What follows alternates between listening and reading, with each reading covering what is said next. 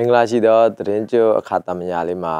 အားလုံးပဲစိတ်ချမ်းသာခြင်းကိုယ်ကျမ်းမာခြင်းနဲ့ပြည့်စုံကြပါစေ။ရောက်ရှိနေတဲ့ဒုက္ခအခက်အခဲရလည်းအမြန်ဆုံးအားလုံးလွတ်မြောက်ကြပါစေလို့ဆုတောင်းပေးလိုက်ပါတယ်